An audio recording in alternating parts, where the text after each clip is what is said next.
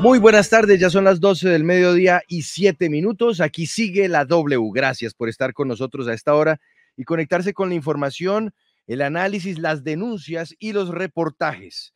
Hoy nos vamos a detener, Mauricio, en un tema muy interesante que es además el que inspira nuestro numeral. Numeral bandas criminales son, porque a través de una carta, integrantes de, oído bien, Clan del Golfo, ex grupos paramilitares, que hoy día están eh, algunos de ellos detenidos, y otras organizaciones delincuenciales le proponen al presidente electo Gustavo Petro una negociación para hacer un proceso de sometimiento a la justicia. Y por eso numeral bandas criminales son, y tendremos invitados para entender ¿Cuál es el alcance de esta carta y sobre todo hasta dónde se puede hablar de una negociación con este tipo de grupos al margen de la ley, no? Claro, Juan Pablo, muy buenas tardes. Efectivamente, pues se trata de una carta que enviaron estos integrantes del Clan del Golfo y también eh, ex paramilitares que continuaron delinquiendo y que actualmente se encuentran en algunas cárceles del país y a través de algunas organizaciones en las que ellos se encuentran vinculados, pues eh, están buscando ese sometimiento a la justicia. Hay muchos interrogantes y es viable porque pues se trata de un proceso que, que sería colectivo en ese orden de ideas, y pues eh, hay actualmente un sometimiento, pero es individual. Eh, esto también pues va a analizarse por parte del nuevo equipo del presidente electo Gustavo Petro, eh, si es lo que ellos proponen, porque entre otras piden que no haya cárcel tampoco que no haya extradición. Imagínense. todo eso se tiene que analizar. Vamos a tener invitados, efectivamente está Iván Cepeda, que ya está conectado hasta ahora y es uno de, los, eh, de las personas a quienes llegó esta carta y pues eh, él nos va a explicar muy detalladamente cómo será este proceso, entre otros invitados. Que usted ahí pone el dedo en la llaga en un tema crucial. Hablar de no cárcel para unas personas que han sido responsables de crímenes gravísimos contra el país y sobre todo haber sido motor del narcotráfico y hablar de no extradición. ¿eh?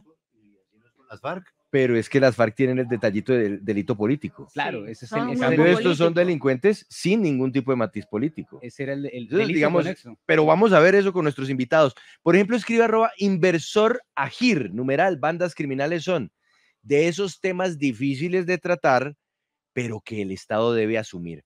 Óigame, Paola, buenas tardes. Juan Pablo, muy buenas tardes. ¿Vio ayer la instalación del nuevo Congreso? Por supuesto, lo vi, a usted, lo vi a usted la transmisión que hicieron aquí en la W con María Camila Díaz y Lucas Pombo, muy, muy, mucho desorden, sí, mucho desorden. Pero no en la transmisión. No, no, no, no. No, en ¿Qué se entendiendo? Mucho desorden. ¿Cómo así, Paola? No, no, no, usted es perfecto. Los congresistas sí, bastante desordenados. Pelote, despelote. Un despelote, sí, señor. Despelote, despelote. Pues tan, tan fue el despelote que terminó casi a las 10 de la noche hablando el señor Julián Gallo como el representante de la oposición que tenía derecho a hacer réplica después del discurso del presidente Iván Duque. El presidente Iván Duque también con un discurso bastante criticado y el desorden que se vive adentro por el tema de las de la asignación del orden del día, por la escogencia de las mesas directivas en Cámara finalmente no pudieron, hoy tampoco han podido, ¿no? Allá están todavía eh, peleando. Y arrancaron temprano además. Y arrancaron hoy, hoy madrugaron a trabajar en el Congreso. Pero allá siguen enredados con ese tema porque eh, quien está desde hace mucho tiempo en la Secretaría de la Cámara, que es el señor Mantilla, pues no quiere abandonar su puesto y, también está postulado el señor Lacutir, que pues ya le aceptaron su renuncia en el Consejo de Estado y entonces eh, pues está peleando por esa postulación. Bueno, hablando de política, después de la UNA en Sigue la W en Digital, vamos a estar hablando con una de las orillas políticas que hasta el momento ha permanecido, Paola, digamos, en una situación de suspenso de si va o no va a ser oposición, aunque creo que el camino ya está más o menos definido y me refiero a cambio radical, ¿no?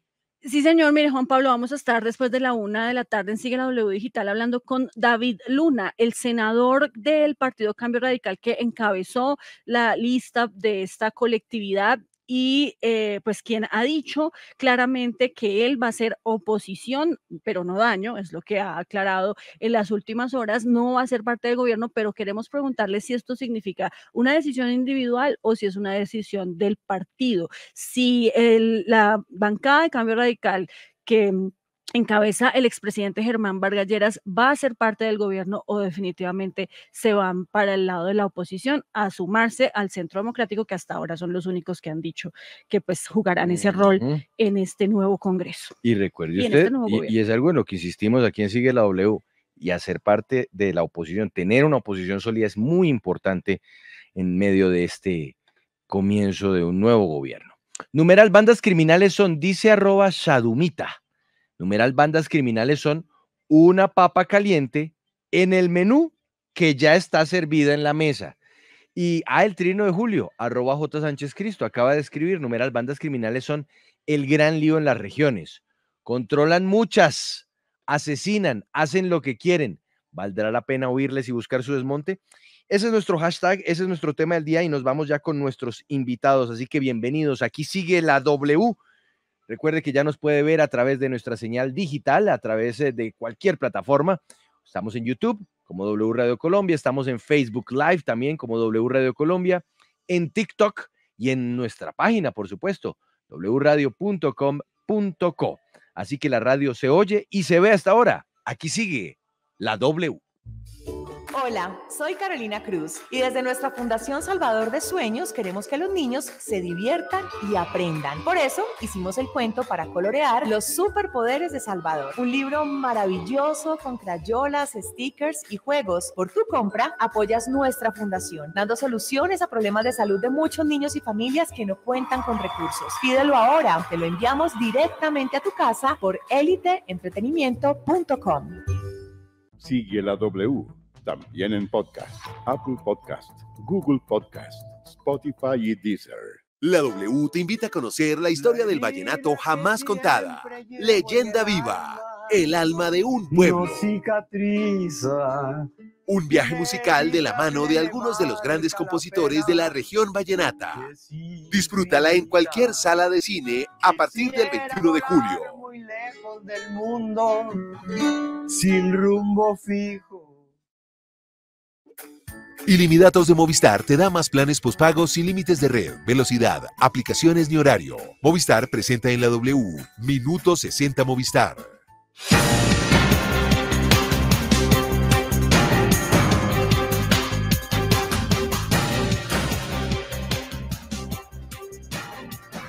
Dos del mediodía, 15 minutos. Aquí sigue la W. Bueno, vamos a saludar ya mismo a nuestros invitados están conectados con nosotros a través de nuestro YouTube Live. Gracias. Gracias a todos los que están a esta hora viéndonos también en esta señal digital de Sigue la W. Numeral bandas criminales son rápidamente, Mauricio, hágame usted un resumen de la carta, detalles principales de esta misiva de miembros del clan del Golfo y ex paramilitares que siguieron delinquiendo y que ahora quieren sentarse a hablar con el gobierno y pensar de pronto en un proceso de sometimiento a la justicia. Sí, señor, es una carta que hicieron llegar estos integrantes del Clan del Golfo al presidente electo Gustavo Petro. Tiene fecha del 19 eh, de julio, es decir, antier, y también eh, está dirigida a Francia Márquez, vicepresidenta de la República y así como Álvaro Leiva, quien será el ministro de Relaciones Exteriores. En esta carta, Juan Pablo, vamos a ver algunos de los apartes que llaman la atención. Por ejemplo, en el que dicen, eh, abro comillas, eh, les vamos a pedir a Jeffer que nos muestre esas imágenes. Dice, proponemos a ustedes y al pueblo colombiano ser parte activa de este proyecto. Estamos dispuestos a dialogar y reconciliarnos con el objetivo de parar la violencia cíclica que algunos de nosotros controlamos, más no la que controla el Estado. Vamos a pedirle a Paula que nos lea el segundo aparte interesante de esta carta. Sí, señor Mauricio, mire, eh, aseguran también en esta misiva, abro comillas, estamos dispuestos a coordinar un cese al fuego contra la institucionalidad a partir del 7 de agosto de 2022. Estamos dispuestos a desarmarnos en el momento indicado. Estamos dispuestos a pedir perdón. Estamos dispuestos a aportar verdad total e integral. Estamos dispuestos a reparar y sobre todo a no repetir los actos criminales. Estamos dispuestos a cumplir con los fines de la justicia restaurativa Estamos dispuestos a unirnos con las instituciones para proteger el medio ambiente contra las prácticas ilegales que lo deterioran enormemente. Estamos dispuestos a construir un futuro mejor para las nuevas generaciones. Otro de los apartos, Juan Pablo, que es interesante es el que tiene que ver con el, eh, la no, eh, que no sean llevados a la cárcel. Dice, abro comillas, el país debe de reconciliar y en la medida de lo posible nadie debería llegar a la cárcel pues está comprobado, es una universidad del crimen que no cumple con los fines de resocialización. Y el último punto interesante es el que tiene que ver con la extradición. Sí, señor, mire, sobre ese dicen, abro comillas, expresamos con mucho respeto que no estamos de acuerdo con que se siga cercenando la verdad de nuestro país con mecanismos tales como la extradición que debería operar solo en los casos donde haya ausencia, verdad, perdón, justicia, reparación y no repetición. Extraditar personas que cumplan con los postulados de la verdad significa una afrenta a la dignidad humana, a la justicia nacional y a las víctimas, como también es un falso reconocimiento de que el Estado colombiano es incapaz de resolver sus propios problemas. Cierro comillas.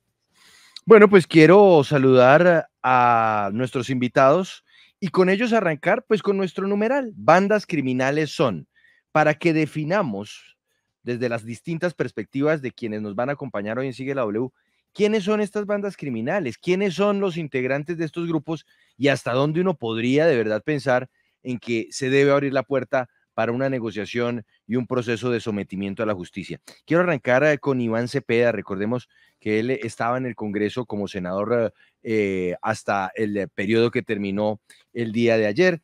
Doctor Iván Cepeda, bienvenido a Sigue la W. Buenas tardes. Buenas tardes, me complace saludarlos. Bandas criminales son, desde su perspectiva, ¿qué son estas bandas criminales o quiénes son estos personajes que le hablan ahora al presidente electo Gustavo Petro y le piden un plan de sometimiento? Bueno, eh, digamos antes que nada, en, este tipo de gestiones en las que yo he participado en, el pasado, hay un principio básico y es que hay que verificar en primer lugar la autenticidad de quienes están enviando de cualquier clase de solicitud o propuesta, eh, de si realmente representan una organización, eh, qué jerarquía tienen y eh, es, digamos, indispensable identificar claramente si están siendo eh, las personas que eh, pueden llevar a un proceso de diálogo, de, en este caso, acogimiento a la justicia. Ese es un principio, repito, que es fundamental y sobre el cual yo llamo la atención. Antes de hacer cualquier afirmación contundente, habría que pues pensar un poco quiénes son eh, eh, las personas que remiten esta comunicación. Eh, en segundo lugar, debo decir claramente, el gobierno no se ha posesionado y cuando se posesione será el presidente Gustavo Petro quien dará las directrices y tomará las decisiones como lo señala la Constitución en materia de este proceso. Bien. En tercer lugar, simplemente señalar, hay hoy una gran pluralidad de organizaciones criminales. La más importante de ellas es eh, la que se ha conocido como el Clan del Golfo, las AGC, eh, que tiene una presencia territorial supremamente significativa. Se habla de cerca de 9.000 hombres en armas y que tienen control, por lo menos influencia en 14 departamentos del país. Sí. Senador, permítame, porque para poder escuchar las otras voces, volvemos con usted en segundos. Recordemos que además el senador Iván Cepeda es una de las personas que recibió o, como destinatario esta misiva por parte de los, eh, de los integrantes de, este, de estos grupos criminales. Rodrigo Rivera fue comisionado de paz, alto comisionado para la paz. Está con nosotros a esta hora. Excomisionado Rodrigo Rivera, desde su perspectiva, estas bandas criminales, ¿quiénes son? ¿Hasta dónde? es válido pensar en sentarse a negociar con ellos. Buenas tardes. Muy buenas tardes. Eh, bueno, un saludo muy cordial a, todos ustedes, a la audiencia, a Iván Cepeda. Eh, estas bandas criminales son eh, las responsables de muy buena parte del dolor, del sufrimiento, de la violencia, con base en crimen organizado que está sufriendo el país, especialmente la periferia del país. Eh, el, país que está ligado con, eh, con cultivos ilícitos, con eh, explotación ilegal de recursos naturales, el país que a pesar de que tuvo una oportunidad gracias al proceso de paz con las FARC, sigue sufriendo las consecuencias de asesinato de líderes sociales, de asesinato de excombatientes, de una economía paralela ilícita y una ausencia del Estado en donde en, buena parte del territorio nacional, pues estas organizaciones criminales eh, tratan de sustituir y de desafiar el Estado eh, cumpliendo ese papel. De modo que no es de poca monta eh, el, el, hecho de que se plantee esta propuesta y de que esto coincida con un momento político pues, muy especial, la, la, elección y próxima posesión del presidente Gustavo Petro, que pues para nadie es extraño que tiene simpatía con, con, con, esta política. Él habló en la campaña del perro social, él habló de segundas oportunidades.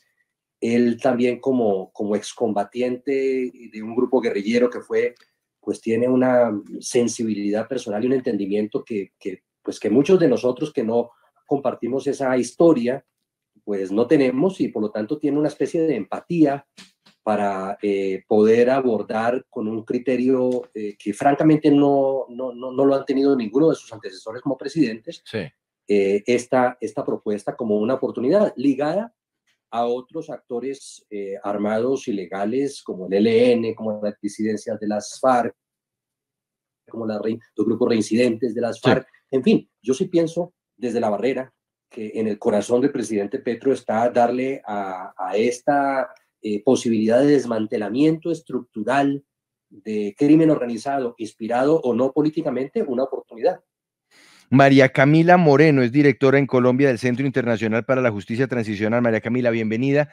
Y hablemos de las bandas criminales y quiero retomar tal vez, eh, como interpretando un poco lo que nos decía el excomisionado de paz Rodrigo Rivera, hasta dónde el hecho de abrir esta puerta, de analizar siquiera eh, un diálogo con, con, estos grupos al margen de la ley y estas bandas criminales no se convierte en un aliciente para que la gente delinca. Buenas tardes. Eh, buenas tardes, Juan Pablo. Un saludo para ustedes y, su audiencia y para Joan y Rodrigo. Un saludo también. Bueno, eh, dos, yo quisiera referirme a dos cosas para contestar esa pregunta y, un poco retomar eh, también lo que ya han em, manifestado mis, los anteriores eh, invitados. Lo primero es que eh, es clarísimo que en Colombia tenemos un grave problema de seguridad en muchas regiones del país, violencia estructural que está generando miles de víctimas todos los días, que está interfiriendo con el desarrollo del país. Es decir, tenemos un problema que tenemos que resolver urgentemente. Y el problema no se ha podido resolver por las vías militares, ni siquiera únicamente por la vía de la judicialización. Eh, llevamos años, décadas de persecución penal y lo único que hacemos es eh, judicializar, capturar a los, a, los, a los cabecillas y nuevamente es un ciclo de, no, de nunca acabar. Eh, porque no se aborda el tema de manera estructural. Entonces, lo primero es que una propuesta de acogimiento, como menciona el senador Cepeda, tiene que hacer parte de algo mucho más integral, que debe incluir, por un lado, efectivamente, una propuesta de acogimiento o sometimiento de estos grupos organizados que tienen unos fines económico-criminales. Eso es importante también definir porque esto no es con cualquiera, sino tenemos que saber claramente con quién, de qué estamos hablando. Segundo, y muy importante, es que no resolvemos el problema si solamente desmantelamos las estructuras militares. Esas estructuras militares hacen parte de unas redes criminales mucho más amplias y complejas en las que participan personas que apoyan, son determinadores, financiadores, encubridores, que también hay que desmantelar. No resolvemos el problema únicamente acabando con las estructuras militares. Aquí hemos desarmado organizaciones durante décadas en este país. Y lo que termina pasando es que nuevamente se reproduce. ¿Por qué? Porque no atacamos el problema de fondo. Y el problema de fondo son esas redes que están enquistadas, que, tienen una relación muy fuerte además con, con eh, la corrupción. Entonces, esto tiene que estar vinculado también con la lucha contra la corrupción, como lo ha dicho el, el presidente electo Gustavo Petro. Tercer punto, reintegración individual y colectiva efectiva en los territorios. Es importantísimo, con especial énfasis en los mandos medios. Aquí hemos tenido un déficit enorme en las propuestas de reincorporación de mandos medios con todos los grupos. Cuarto elemento, una intervención integral del Estado en los territorios en donde estas organizaciones tienen influencia y operan. ¿Por qué? Porque mientras no haya una presencia integral del Estado, pues estos grupos se siguen reproduciendo. Y quinto punto, importantísimo, una solución al problema de las drogas, hmm. porque nada hacemos desmantelando organizaciones si las redes vinculadas al narcotráfico siguen existiendo, porque hoy hay un grupo y mañana hay otro. Eso nos devuelve al punto dos de lo que usted nos señalaba y es desmantelar o desmontar una parte de la estructura, pero esta vuelve y reaparece, se reconfigura. Quiero saludar también a Daniel Ernesto Prado, él es abogado defensor de derechos humanos. Abogado, bienvenido a Sigue la W, buenas tardes. Y yo quiero que hablemos de estas bandas criminales y sobre todo hasta dónde eh, Colombia podría aceptar que no haya para bandas criminales eh, cárcel, que no haya extradición y por lo menos en la propuesta yo no estoy viendo reparación. Entonces, no sé cómo podría funcionar esto. Bienvenido. Eh, muy buenas tardes. Eh, un saludo para Iván, para Rodrigo, para María Camila, eh, para la mesa de trabajo. Mire, yo lo que entiendo de ese documento es que simplemente es una carta de buenas intenciones.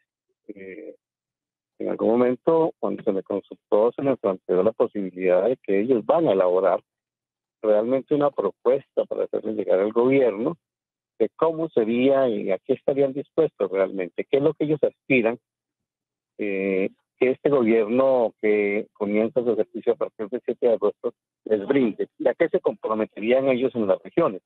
Como bien lo decía María Camila, no puede generarse un proceso de esto si el Estado no asume una presencia permanente en los territorios donde estas, estas organizaciones están operando y del cual eh, saldrían en un, en un proceso de sometimiento porque eso es lo que generaría la presencia de otros en la zona. O sea, el tema no es un tema sencillo, es un tema que debe analizarse integralmente y donde el, gobierno colombiano debe generar una política que le permita asumir realmente compromisos serios con las poblaciones y con el país para que no se sigan repitiendo estos hechos de violencia y no se sigan reproduciendo igualmente el fenómeno del narcotráfico que deja unos y que después copan otros las rutas, eh, debe ser una política integral, como también ya lo dijo María Camila. Doctor eh, Iván Cepeda, eh, en ese orden de ideas, ¿cuál va a ser ese camino para llegar a, negociar un sometimiento a la justicia del Clan del Golfo y estos otros exparamilitares que continuaron delinquiendo después de que Justicia y Paz los haya expulsado? ¿Hay ese ambiente en el Congreso mm. para adelantar una ley que permita ese sometimiento. Recordemos que en 2018 ya hubo una, pero que duró seis meses, pero era en el marco de la paz. Ahora, ¿cuál es ese camino? Bueno, el, presidente de la República ha dicho que la política de paz en esta oportunidad va a ser una política de carácter total. Se van a establecer en distintos niveles procesos de paz que tienen eh, naturaleza distinta implementar el acuerdo de paz, reanudar los diálogos con el Ejército de Liberación Nacional, igualmente eh, buscar el acogimiento a la justicia de estas organizaciones eh, criminales. Eso presupone, por supuesto, eh, distintos niveles de diálogo, acercamiento, y en el caso particularmente de estos grupos, considerar, como lo ha dicho bien María Camila, una serie de condiciones que no son solamente aquellas que tienen que ver con el tema estrictamente jurídico legal. Eh, sobre este quiero decir lo siguiente. El, problema de la extradición no está sometido o no va a estar sometido eh, a una negociación. Este es un asunto que atañe al gobierno de Colombia y al gobierno de Estados Unidos y por, por lo tanto será en ese nivel que se tratará pues cualquier clase de modificación o reforma con relación al mecanismo de extradición. No será un tema de negociación eh, con grupos al margen de la ley. perdón, doctor Cepeda, ¿Y, en ese caso, en ese caso también habría una posibilidad de una pena alternativa? Sí, de hecho ya existen, eh, pues, o han existido eh, propuestas en esa dirección que han tomado forma legislativa. Eh, la ley a la que ustedes hacían referencia, la ley 1908, si no estoy mal, 2017 o 2018, 18, sí. Eh, no, no quedó bien hecha, hay que decirlo, por la sencilla razón de que las penas, o mejor, eh, los beneficios penales que ofrecía eran eh, tan pocos y tan magros que le iba mejor a la persona sometiéndose a la ley y a la justicia ordinaria. Así que quiero decir esto con claridad, un tema prioritario en la actividad legislativa que comenzó ayer será precisamente reformar esa ley. Y ese es uno de los temas que vamos a trabajar en las próximas semanas en el Congreso, eh, bien sea con una reforma a esta ley o incluyendo algún texto legislativo en la prórroga de la ley 418 de 1997, que es la llamada ley de orden público, que debe ser prorrogada en este semestre por parte del Congreso.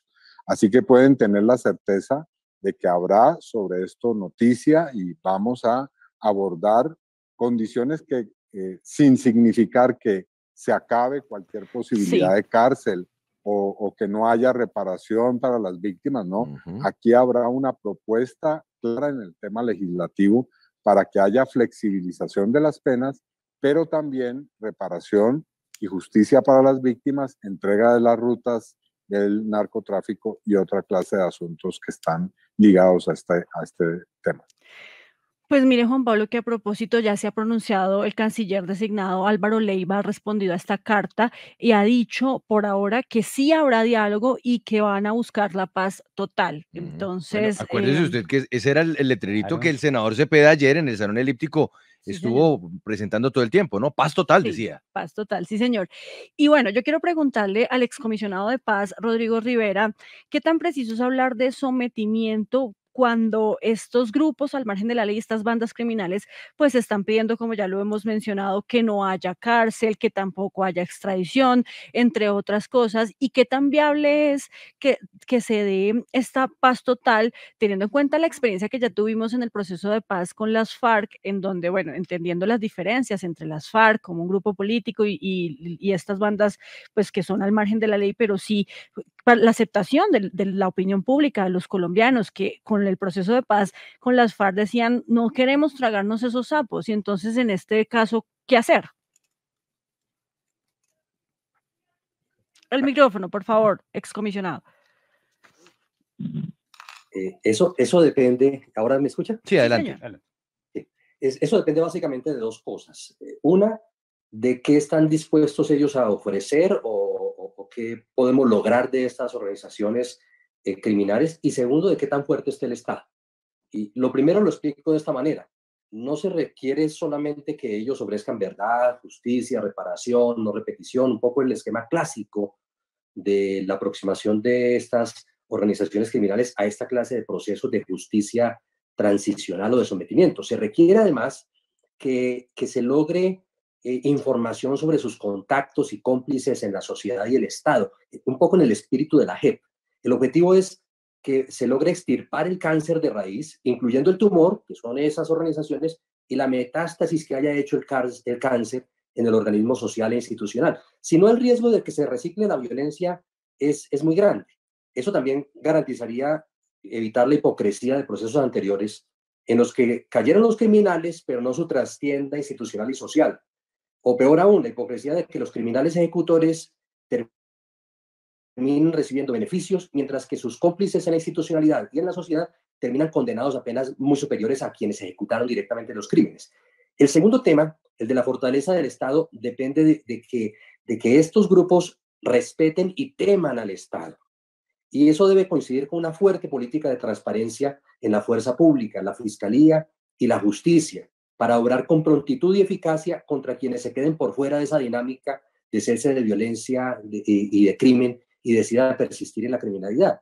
Si, si estos grupos, porque aquí lo más delicado es que la percepción general es que estos grupos han logrado permear el Estado, han logrado permear la fuerza pública, la fiscalía, la justicia. Hay una gran corrupción que si no se enfrenta muy estratégicamente con contrainteligencia, con investigaciones de asuntos internos en estas entidades, pues estos grupos no se van a aproximar con, sinceridad y temor a este proceso porque tendrán la, la, trastienda la, carta escondida de que si no funciona esto, pues podrán seguir manipulando a la institucionalidad a través de la corrupción. Sí.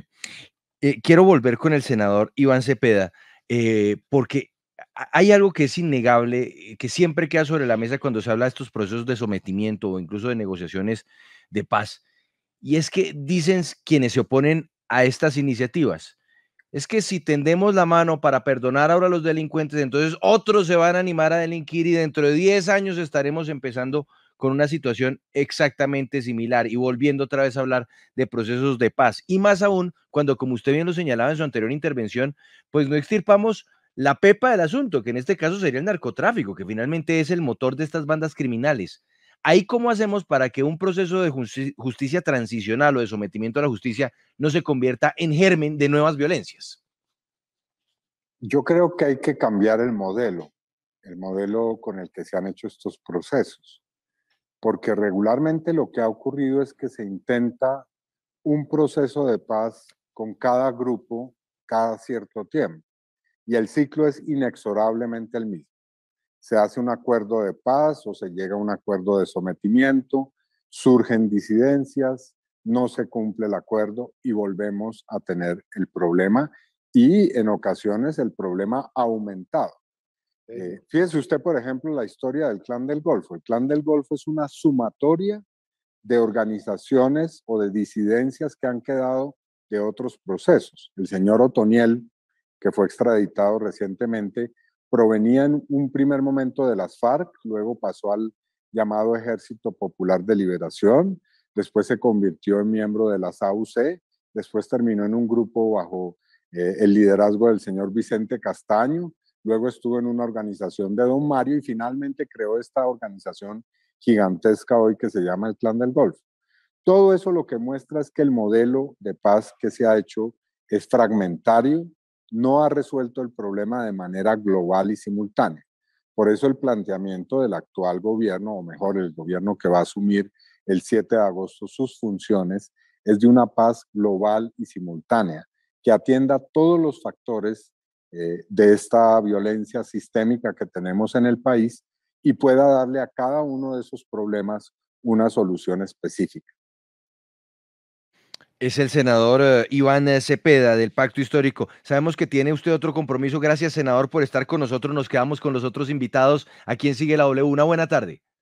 A ustedes, muchas gracias. Mauricio, lo escucha María Camila Moreno, ella es la directora del ICTJ, el Centro Internacional para la Justicia Transicional en Colombia. Sí, señor. Eh, doctora María Camila, hablando de penas alternativas, eh, hemos eh, visto que por lo menos en Justicia y Paz, ante la JEP, se negociaron algunas penas alternativas para quienes se sometieron a esta justicia transicional. Con las bandas criminales, con el Clan del Golfo y estas otras organizaciones que están interesadas en negociar un sometimiento a la justicia, se puede pensar en una pena alternativa y que esta pena no sea con cárcel como ellos lo están pidiendo y mm, también el tema de la extradición. Pues, ah, usted está pensando como en las penas que tendrán que pagar eh, eh, por, la JEP. Exacto. En la JEP, no habrá cárcel. En la JEP no hay cárcel y se están pagando penas de hasta cinco años de prisión. En justicia y paz eran penas de hasta ocho años de prisión. Entonces, no sé si con este sometimiento de estas bandas criminales que tienen delitos tan graves como el narcotráfico, que no puede estar ligado a un eh, delito político, ¿qué penas alternativas se podrían negociar y que no sean efectivas eh, en un centro de detención como una cárcel? A ver, lo primero es que tenemos que digamos, hacer claridad que el objetivo, el objetivo de, una discusión que lleve al acogimiento, al sometimiento de estos grupos a la ley, no es solamente si van a tener pena o no. Digamos, el objetivo es desmantelar, el objetivo es eh, que estos eh, grupos no sigan generando violencia en las regiones y que podamos realmente transitar hacia unas reales garantías de no repetición. Ese es el objetivo que hay que tener eh, presente. Ahora bien, Colombia ya tiene una experiencia, como bien eh, lo dices, Mauricio, en diferentes tipos de tratamientos penales, incluso según el nivel de responsabilidad. Y no sería nuevo en Colombia hablar de penas alternativas, pero siempre y cuando esas penas alternativas estén condicionadas al cumplimiento de una serie de acciones como el desarme, como la reincorporación, como el aporte a la verdad para las víctimas, como el aporte a la información, de información a la fiscalía para la persecución penal de esos otros componentes de esas redes criminales, es decir, entrega de rutas, entrega de, de nombres de personas que han colaborado y que soportan estas redes criminales. Es decir, que esto debe partir de que a mayor grado de colaboración, de entrega de información, de compromiso con la paz, mayores pueden ser los beneficios. Siempre y cuando tengamos claro también que los beneficios deben ser diferenciales según el, rol que tuvieron eh, los miembros en la organización. No es lo mismo un soldado raso que, no, que tiene poca información, que probablemente solamente es es responsable del delito de concierto para delinquir y, sus conexos directos, que el máximo responsable que tiene la información, que además es el determinador, que además es el que dio las órdenes y diseñó los planes. El tratamiento no puede ser el mismo. Tiene que haber unos requisitos distintos y por lo tanto también unos beneficios distintos. En justicia y paz, el modelo era el siguiente. Ocho años de prisión efectiva en cárcel para los máximos responsables y para quienes solamente fueron responsables del concierto para delinquir, eso está, se definió en la ley 1424, existió la posibilidad incluso de la renuncia a la persecución penal condicionada al aporte a la verdad.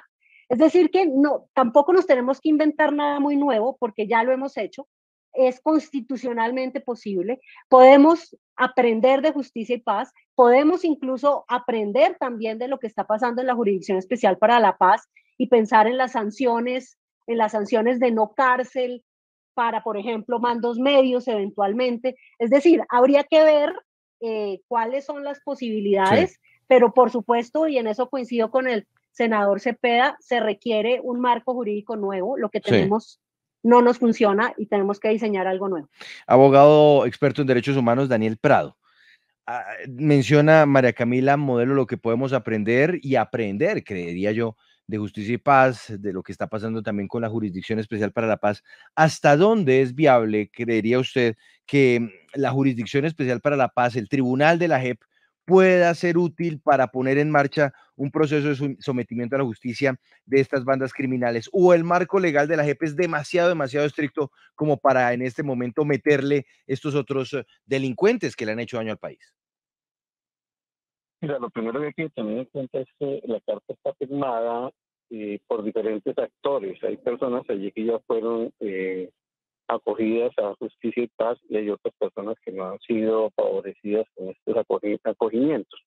Entonces, ¿qué pasa allí? Allí hay un ofrecimiento por parte de aquellas personas que fueron y se sometieron al proceso de justicia y paz de contar realmente la verdad. Allí se está planteando que ellos no tuvieron la oportunidad, no habían las condiciones, se les sometió a la extradición y por lo tanto ellos no han hecho realmente los aportes que tenían que haber hecho en su momento para la pacificación del país. Esa es una puerta que de una otra forma hay que abrir en la Justicia Especial para la Paz. Y hay que mirar en las modificaciones legislativas que se deben hacer a esta, a esta ley. Y recuerdo que en algún momento el hoy presidente electo en la candidatura de, del, del 2018 anunció que una de sus intenciones sería que la justicia especial para la paz se volviera la justicia especial para la reconciliación. Y en esta medida hay que estudiar los cambios que se le deben hacer y permitir que las personas que realmente tienen voluntad para que reconstruyamos este país lo hagan. debe pasar esto legalmente por su aporte a la verdad. Los colombianos tenemos derecho a saber qué pasó en el país. Claro. Eh, vamos con el excomisionado de paz eh, Rodrigo Rivera, porque yo quiero preguntarle, para este proceso de sometimiento, en alguna ocasión se trabajó, bueno, con justicia y paz para el sometimiento de los ex paramilitares. Para las eh, ex FARC se hizo la Jurisdicción Especial para la Paz. En ese orden, para los grupos criminales se debe crear un nuevo tribunal o se debería crear un nuevo tribunal o que esto lo investigue la justicia ordinaria. O, lo, que, perdón, perdóneme ahí, doctor Rodrigo, o lo que acaba de decirnos el abogado Daniel Prado, que es de repente revisar los límites que tiene hoy la JEP y que todo ah, vaya para allá.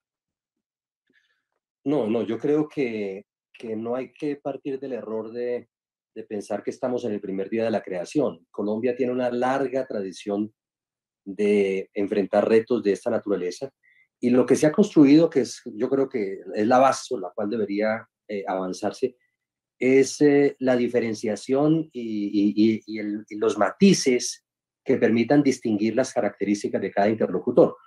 Una cosa son aquellos que tienen motivación política, así sea en sus inicios, eh, como fue el caso de las FARC, hoy podríamos hablar del ELN, y otra cosa es eh, la delincuencia común, organizada, típica, de estilo narcotráfico, cuya motivación es lucro, codicia, estilo clan del Golfo.